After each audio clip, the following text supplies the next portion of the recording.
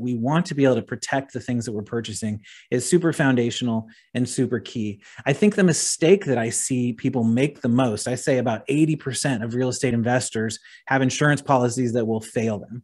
And I sometimes I think that number is low when I see the mm. policies come in. When when someone comes to me, I say, "Hey, let, show me what you've got right now. I'll go out to my companies, see what I can get get and I'll compare those things." And when someone shows me what they have, so often they have policies that are junk. It's they're absolute junk. And, and I think the biggest mistake I see people make is thinking that insurance is just a transactional commodity and that we should just buy the cheapest possible policy we can find. Welcome to the Threefold Real Estate Investing Podcast.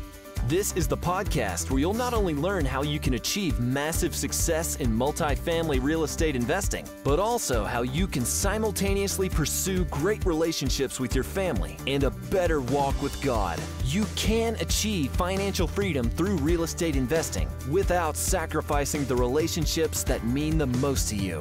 Now, here's your host, Lee Yoder. Welcome back, Threefold listeners. Got another great guest today. Uh, excited to, to bring Jeremy Goodrich on here. Let me read a little bit about him and then we'll bring him on. He is a commercial real estate insurance advisor who's been teaching investors how to buy and protect property since 2013. He's the owner of Shine Insurance. We're going to talk a lot about that. But uh, the way I actually know Jeremy is he is the host of the Managing Commercial Real Estate Risk podcast. I've been on his podcast. He has a great podcast. Knows a lot about real estate, puts out a lot of great content. So we're going to talk a lot about real estate, a lot about insurance. But Jeremy, thanks so much for joining us today. We're really excited for our conversation. Lee, I'm excited to be here. I love what you're doing. I love the journey that you're on and that you've really shared that with your listeners and with folks oh, on LinkedIn you. and social media. Yeah. And it's been inspiring to see how you're you're going on your journey in real estate. And I'm happy to talk for the next little bit about my journey too. Yeah, thanks, Jeremy. Right back at you. I mean, you you put out a lot of great content on uh, social media, and I'm always seeing it because we're, we're you know very well connected, and I, I always like looking at that, um, checking out what you're doing and, and the content you're putting out, the guests you have on. Um, you know, we know a lot of the same people for for those reasons. But let's get in the insurance part because you know that's kind of what you focus on. Let's get in that. But but first, Jeremy, do you mind? How did you get so involved with with real estate. I mean, you, you can be an insurance agent insurance broker and, and, not be so involved in real estate. But can you tell us that a little bit? Absolutely. So I was an elementary school teacher for 13 years before I started Shine Insurance. I lo- I loved teaching. Yeah. I, loved I loved educating. I loved helping people. I was a, like I said, third and fourth grade teacher. And I was like, I'll never be a mm. first and second grade teacher because in first and second grade, you have to teach kids how to write you have to teach kids how to read. You have to teach kids how to do basic math. In third and fourth grade, you get to teach them how to love something, right? You get to teach mm-hmm. them how to love a book because now they've got the foundation of reading. You get to teach them how to, I don't think I ever taught them how to love math, but I tried, you know, I, like there were, I, you know, and so I felt like I got to teach people how to love something. And so when I mm-hmm. switched to insurance in, in 2013, I didn't want to lose that.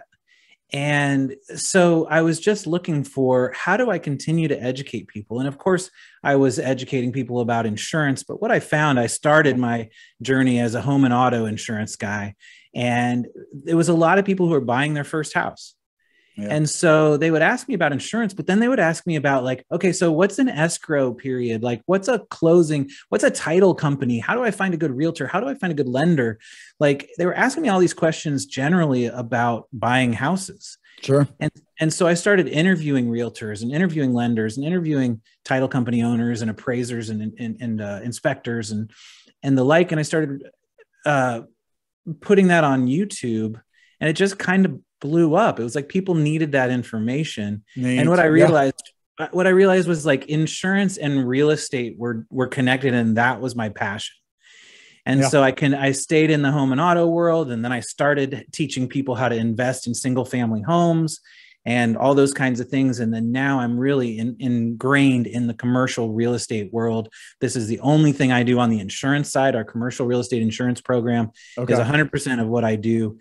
And commercial real estate as a whole, with my podcast and with all the clients we have and just the community we've built, as you know, is yep. is just what I do now. So yeah. it really came out of educating. Um, I come from a family of, of uh, grade school teachers, so I, I, love that story. I love how that got started, and wanting to continue that. And I can totally see how, like you say, you know, you're, you're, you're selling insurance, you're helping people get get good insurance, but they're coming to you with these real estate questions. So kind of blossom out of that. What got you into it though, Jeremy? So you're you're teaching people about it, and and I'm kind of seeing parallels here. You know, people come from the banking industry and they're writing loans on this stuff, and they're going, "Wow, this like these are these guys are really smart. Like they're."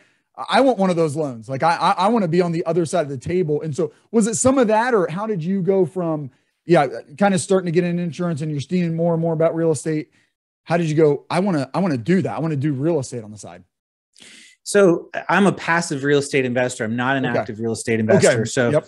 as far as I, I believe in the philosophy of you have to have an active income somehow, and you have to take a portion of that active income and invest it into a passive element, which then yep. grows and becomes more and more passive. And so my yes. active income is the insurance piece, right? I'm, I'm serving people on the insurance side. Obviously, I'm making money for that. And so that is my active income. And I take that and then put it into uh, real estate deals because I'm fortunate enough to see a lot of real estate deals. Obviously, when yep. someone says, Hey, I need some insurance for my 150 unit apartment that I'm picking up, um, they send over OMs and T12s and rent rolls and all that kind yep. of stuff and so I can see a good deal. And so I've become a passive investor in those deals. And I, I, have no interest in being an active investor. I'm a service team member, and that's what I want to be. Sometimes when I see people who are service team members and are active investors, I'm like, man, I don't know how you do both those things well.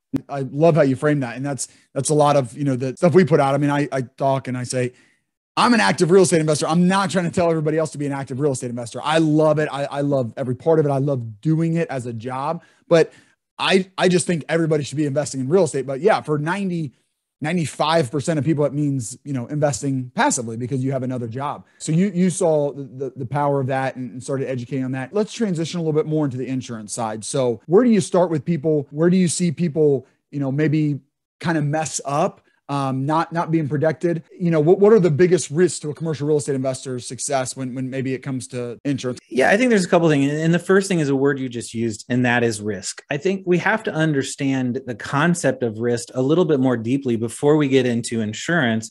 And that is when we decide to do something big, something like investing in commercial real estate or single family residential, whatever your listeners are investing in, we're deciding to take a pretty big risk right? We're deciding to go out there and, you know, purchase a property. Uh, hopefully, we're doing it with a fair amount of other people's money, um, but some of our money is in that as well. And obviously, we want to make sure that we fulfill the, the promises we made to other people when they bring their capital into it as well. So, the concept of risk and the idea that we want to be able to protect the things that we're purchasing is super foundational and super key. I think the mistake that I see people make the most, I say about 80% of real estate investors have insurance policies that will fail them. And I sometimes I think that number is low when I see the mm. policies come in. When when someone comes to me, I say, "Hey, let, show me what you've got right now. I'll go out to my companies, see what I can get get, and I'll compare those things." And when someone shows me what they have, so often they have policies that are junk. It's they're absolute junk. And and I think the biggest mistake I see people make is thinking that insurance is just a transactional commodity and that we should just buy the cheapest possible policy we can find. Yeah. It's sort of like if you go and get sunscreen in a convenience store and there's five different kinds and one's five dollars and another seven dollars another eleven dollars and there's a big jug that's 10 times as big as all those others and it's for a dollar yeah right? And you're like wow, it's water. which one should i pick? It's pretty like we say every listener who hears this is like yeah don't pick the dollar one right? But it's the cheapest one and there's a ton of yeah, it. It's a great and, deal Right. We can see that when we're looking at sunscreen. When we're looking at insurance policies, we can't see it. And that's the problem. We can't tell the difference. It's too complicated. I don't get it. I'm going to buy the cheapest one. And too often it's that bottle of water that says sunscreen on the outside. Sure. Sure. No, really well said. You know, I, I can think of a couple, uh, you know, personal examples, and we, we haven't been bitten by it yet because, um, you know, we had a good uh, referral um, to, to, to, an insurance company, but then um, actually my business partner I had had another really good relationship when we went in with him. And it was some of that, him coming in going, guys, you're actually not protected as, as well as you want to be. Um, yeah. And man, when you hear that, I mean, Jeremy, this is where it comes to, you know, as an active sponsor, you've just got to underwrite it to be able to take on the expense of good insurance. I mean, that's what you have to do. You just got to put it in your mm-hmm. underwriting. And if it doesn't work on having expense, you know, good insurance, then then the deal doesn't work, you know, versus, hey, I can make it work if I, you know, get the cheapest insurance because you can get in trouble. And just a couple examples, and I'm sure you can kind of speak on these. I mean, we just had a fire at one of our properties. The insurance is covering us very well. Um, and, and so we're so glad that we have that because it's a mess. Um, and and if we weren't made whole, it you know, it'd be tough to dig out of. I mean, we're talking mm-hmm. about hundreds of thousands of dollars, you know, right. and it wasn't that big of a fire. I mean, we're talking yeah. Toasted one unit and then got out in the hallway a little bit, but man, the costs add up fast, right? And then we have lost yeah. revenue. They're even, you know, helping us with the lost revenue of evacuating good. people. So we're seeing kind of on the side of some of the good having good insurance and how important that is because you're right, Jeremy, you are taking more risks. So the best thing you can do is take that risk, but hedge that risk with, with, with good insurance, with, with reserves. I mean, we can, with good debt, like you can, you know, there's so many different things, but insurance is certainly mm-hmm. one of them. Um, and so I'm sure you have stories where people didn't do that and had a fire and, and, and they're up a creek. Yeah, I mean, let me dissect the situation that you just had. So, so five hundred thousand dollar loss, right? And so I don't know. Let's say your deductible was maybe ten thousand dollars, maybe less, yeah, something like that, five thousand dollars, yep. right? So in that scenario, if it plays out right, um, you'll let's just use five hundred thousand dollars as that number, right? So you would get four hundred and ninety thousand dollars paid out if you had a solid replacement cost policy. You yep. did not have a co-insurance clause that took away from your payout based on how much you insured the entire building for, which we don't need to get in the weeds on, but that can be another thing that takes down your your policy amount, your payout amount.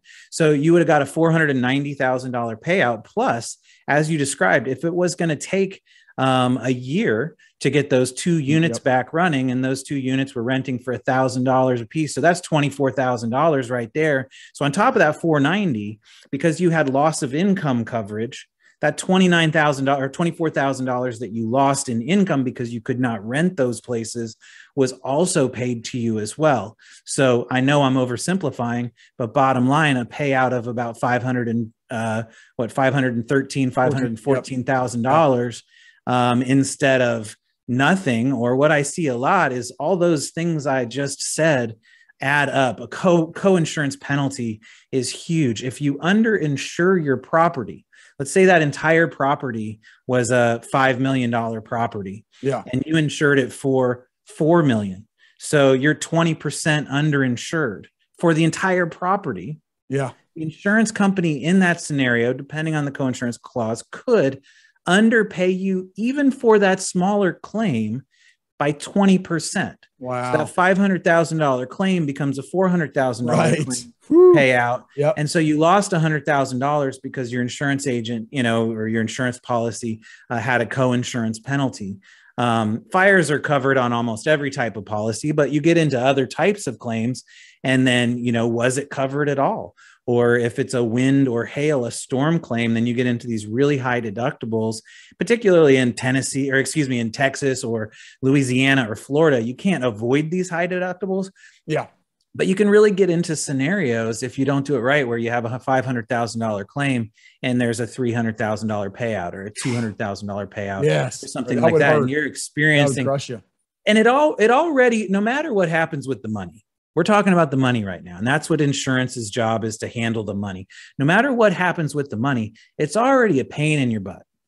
Yes. It's already a thing you have to deal with, a thing you have to get people to come in and remediate and rebuild, and contractors and stuff and things. And maybe your property manager ha- handles it some, but you're dealing with it, right? You cannot pass that risk on to other people. The risk of spending your time and energy dealing with that I mean, you can to property managers and stuff like that, but that's not insurance's job, right? So insurance yep. is, is taking the money piece. There's already a, st- a lot to do, and then oh yeah, the money piece doesn't get handled right. Now it's it's even more of a, a sorry for the metaphor, but more of a burn. Yeah, for sure.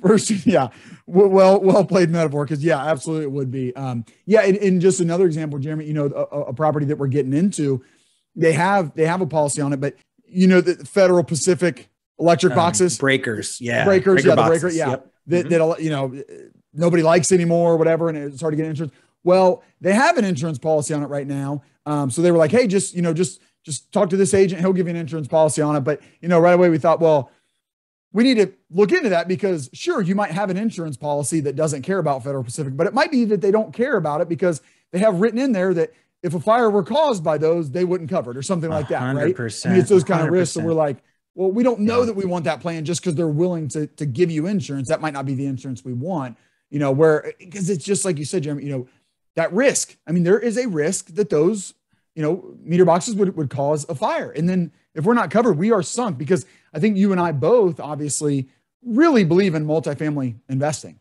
Mm-hmm, and 100%. It's a great investment. It's going to work, but it it's not going to work if if you have a bad situation that you weren't protected against. Yeah.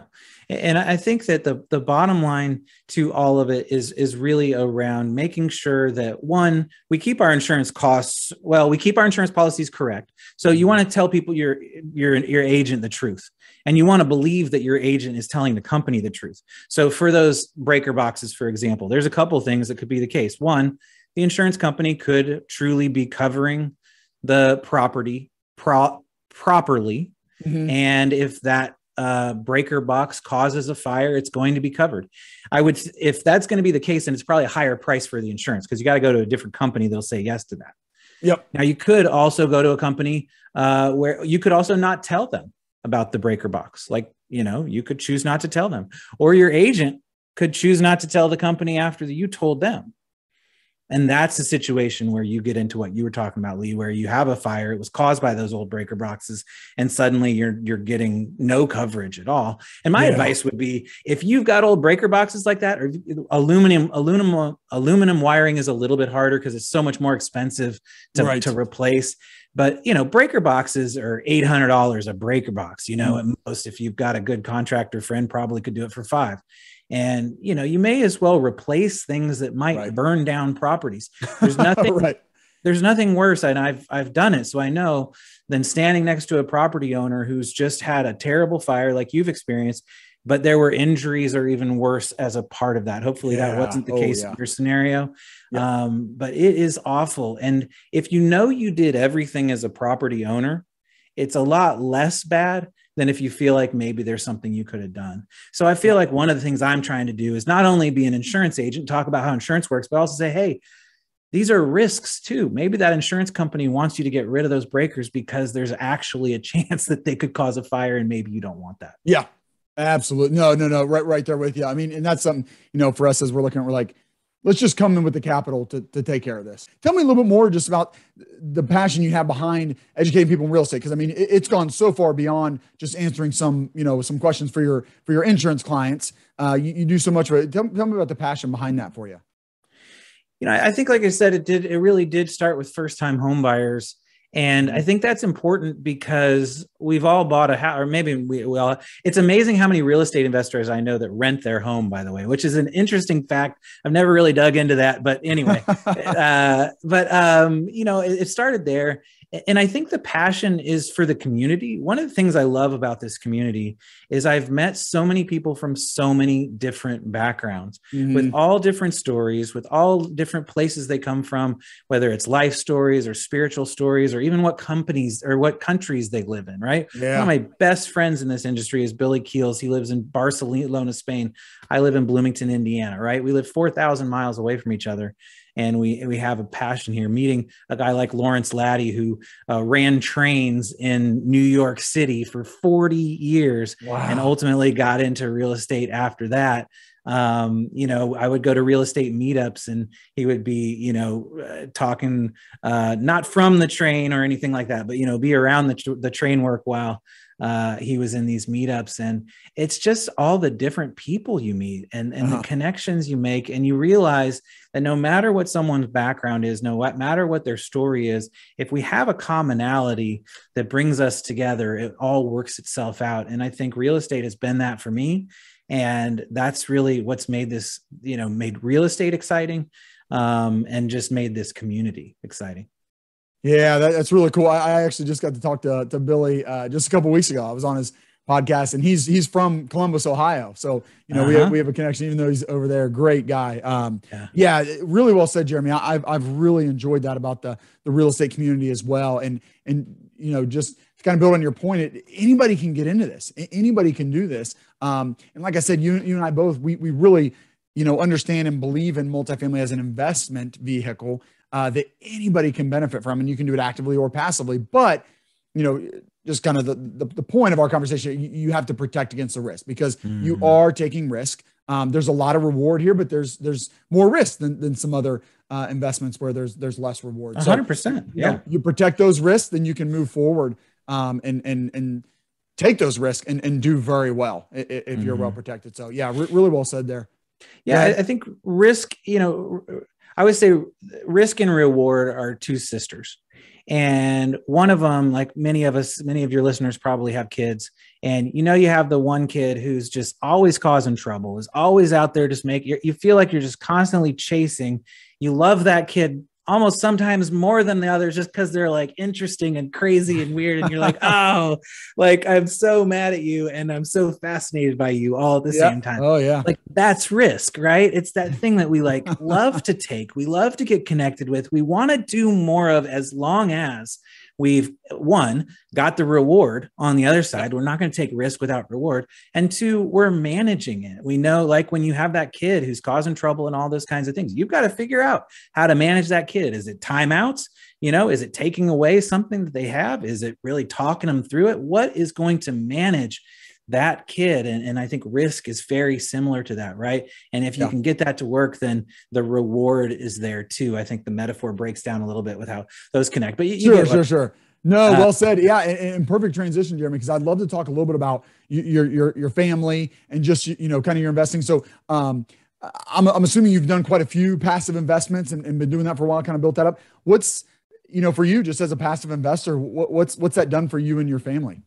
I'm pretty early in my passive investing journey, just a couple of big deals and okay, then a few cool. smaller deals.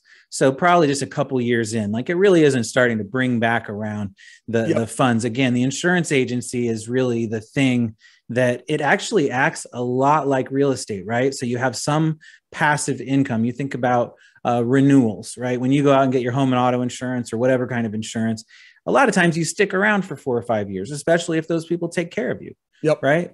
And so that money is coming in as kind of like a passive, uh, it's a cash flow. It's the same as cash flow and multifamily, or other kinds of commercial real estate. And then there's the active piece, which is going out and you know acquiring new clients in my case, or new properties in the real estate case. Yeah. And so I think a lot of you know alignment between uh, the and, and actually there's a lot of people investing in insurance agencies right now there's very few insurance agencies like mine that are truly still independent agencies owned by the founders uh, because mm-hmm. as with real estate people are buying them up wow. but your question was about passive investing and so really the passive investment uh, has not come back in a financial way at this point in any like huge action. Sure. I can't say like I've got six thousand dollars a month in passive yeah. cash flow yep. uh, yet. But again, the the active income's coming from the insurance side, moving to the real estate side, and growing our family in that way, and really creating a lifestyle. I don't have a wild lifestyle. I'm very Sure. comfortable in a you know i got a 1600 square foot house in midwestern bloomington indiana but uh, it's so, just yeah, you know. Yeah, I appreciate you saying that, Jim, because that, that is real life. I mean, this is not a get rich quick scheme. Uh, certainly not if you're doing it passively. Um, you know, there's there's less yeah. risk as a passive investor, so less reward. But it it is the way you framed it. It builds. You know, this isn't Bitcoin that you're hoping you know uh, goes up five yeah. times because it also isn't like Bitcoin where it can go down, uh, cut in half. Uh-huh. Um, yeah, but it comes back to you know it comes back to the real estate and why real estate is so exciting. You know, it's like you can meet so many different people from so many different backgrounds. You can engage with you know you can engage in real estate if you're incredibly wealthy. In fact, most of the mm-hmm. wealthiest people in the world do. And right. you can engage in real estate if you have nothing. You can be yep. boots on the ground and find yeah. a deal and get into something uh, from nowhere. You can be on yep. any scale of that. And I think you can also take any scale of risk, right? I'm taking a fairly yep. Passive risk by passively investing, making limited cash flow. It's certainly better than investing in stocks. Um, but it's not as good as probably your percentages you're making off an act, active deal. Sure. But right. I could go invest actively in a, you know, I think of a property in Montgomery, Alabama that's really fascinating to me.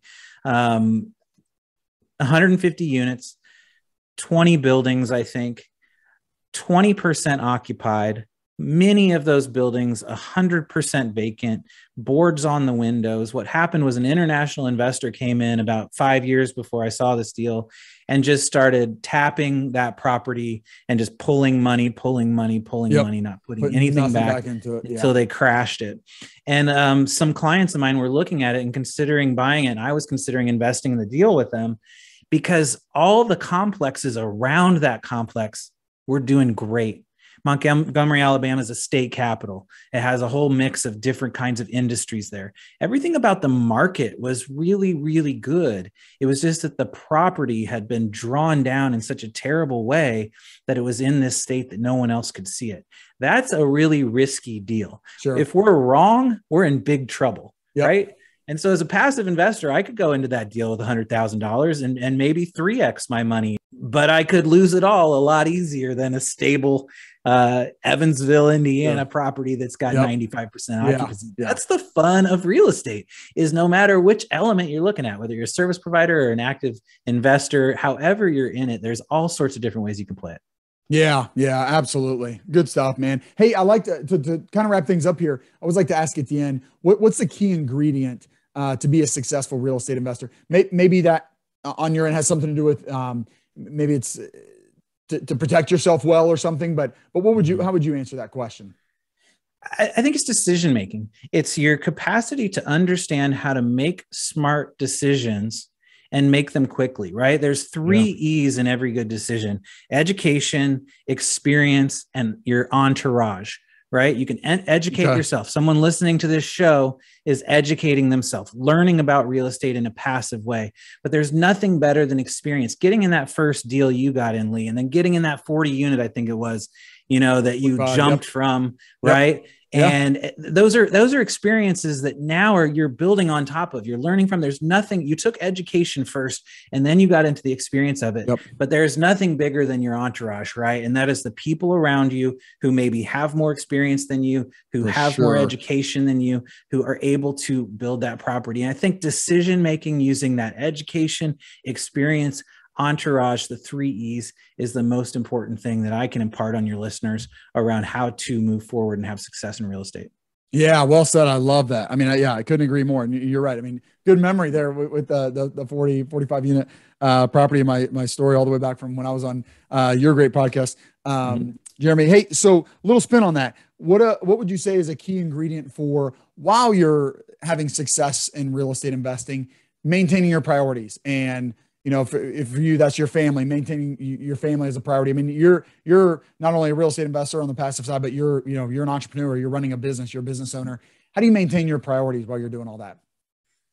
Oh man, I mean, you know, it's hard. I, I think that um, I, have learned more from failing than from anything else. I mean, sure. I, if I let myself do what my natural uh, inclination is I would come into this office at 6:45 a.m., write a LinkedIn post, and then do everything all day long until 6:30 when my wife comes in and says, "Hey, we haven't seen you all day. What's going on?" Right? Like I think that's a weakness that I've had to work through, and sure. I think yep. part of what I do with that is create structured uh, boxes in in your day. Well, one one is saying committing to the fact that hey, my family is just as important as the work that I do. This is not an escape. This is not a place to go and hide from all the other parts of my life, which I think yeah. men in general, you know, can sometimes be guilty For of. Sure. Yep. Um, that I've got a balanced life that comes with my own personal spirituality, my own personal growth, my family and the relationship with my family and my work. And all of them have an important part of, of who I am. And as, as I, as myself personally, and I think men and oftentimes in general, we go to that work and as long as we're workhorse and workhorse and workhorse, and it feels like, well, we're doing the thing for our family, yeah. we're doing the thing for ourselves, but it's just not true. And so I think stepping back and giving myself time, creating space. Uh, my, uh, to my Wednesday afternoons, me and my 15 year old, we just have like three hours that we just spend together, and we pick between one of three things, and we just go do it. That's just yep. one simple thing, you know. Yeah. I, I, don't have all the answers on the balance piece, um, but I think it's important.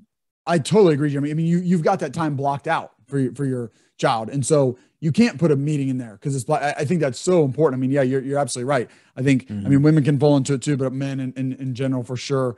Yeah, left to my own devices, I would just work. Um, I just work a lot and, and fall into it and, you know, have to be pulled mm-hmm. out. Uh, and then, oh my goodness, I, I missed all that time. And, and, and then, you, you know, years can go by like that. Um, so, yeah. Hey, we're, we're being diligent about getting everything on our schedule for work and making sure work's going well. And the business, you know, you know, I both uh, entrepreneurs, business owners, and and we've got all this stuff scheduled to make sure that's running smoothly. Why would we not get our kids on the on the schedule, right? And and sometimes that's what it takes. And and I don't think there's anything wrong with feeling like you got to be intentional to get them on your schedule, make sure it mm-hmm. happens. So I love that. I uh, appreciate that. Mm-hmm. Um, like I think yeah. communicating with your spouse or your, yeah. Like I think that communication is because I think we there are traditional roles and there, but I, I think roles are important.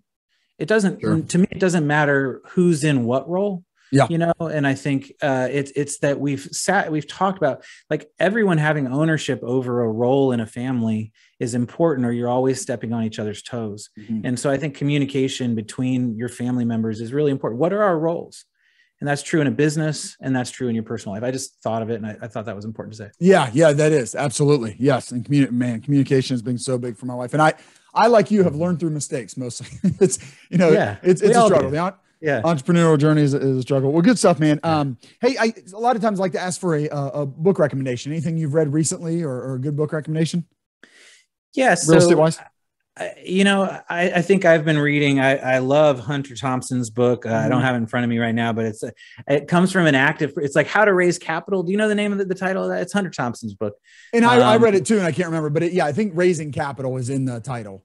Yeah. And I just feel like no matter whether you're raising capital or you're investing passively or, you know, you're just investing in real estate, the way he lays things out and just makes it so clear. I took it on vacation recently and was sitting yeah. on sitting on a beach reading a book about real estate, you know.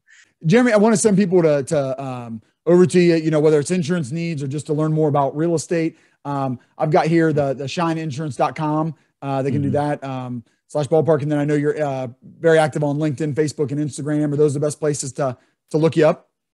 Yeah, I think the simplest value I can add right now to your listeners is if you're underwriting multifamily deals and you're looking at that insur- insurance line and you're not sure, go to shineinsurance.com slash ballpark and you put in five or nine questions. They're yes or no questions and immediately get a ballpark insurance number. So oh, don't nice. listen to the guru. Don't listen to the seller. Uh, don't certainly don't listen to the broker because they're going to show you a number that you know makes the deal look more profitable. Yeah. Go over to shineinsurance.com slash ballpark. Just get a ballpark number that's actually going to fit in your underwriting. Good. Yeah, that's great. That's a, that's a really good resource, Jeremy. I appreciate that. We'll put that in the show notes, obviously, to get everybody over there. Um, great, man. Well, hey, before I let you go, I always like to ask my uh, guests, how might my listeners and I be praying for you in the coming weeks? Yeah, I think, you know, uh, interesting. My dad is a, a minister and he had a stroke about uh, oh, uh, two yeah. months ago.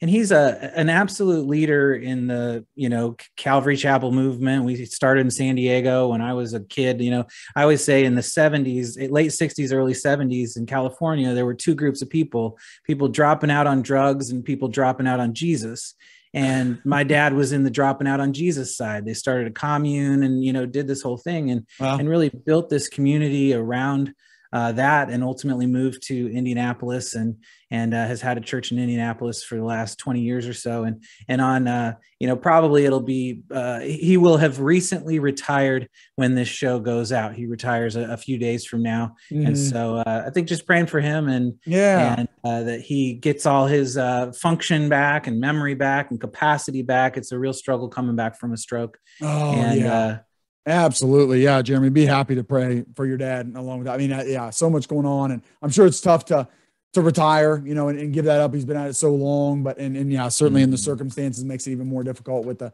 the strokes. Strokes are a nasty thing, uh, can be really yeah. tough. So yeah, yeah, I'd be happy absolutely. to pray for that. Good. Cool. Well, thanks, Jeremy. Uh, really appreciate your time, man. It's been really good stuff. I mean, uh, you know, I, have I've not been in the game that long, and, and, have a couple examples of you know where where insurance is coming really uh, handy uh, for sure, and, and uh, saved us and, and some, uh, you know, maybe some close calls. And just, I, I know it's super important. So I really appreciate what you're doing. Thanks for coming on and sharing that with us. Love it. Lee, thanks for having me. Yeah, absolutely. Take care, Jamie. Thank you for joining us for another great episode. I hope you'll take action on what you've learned today. If you enjoyed today's show, please consider leaving Lee a five star rating and review. And check him out on threefoldrei.com. Until next time, 1 Timothy 6:17.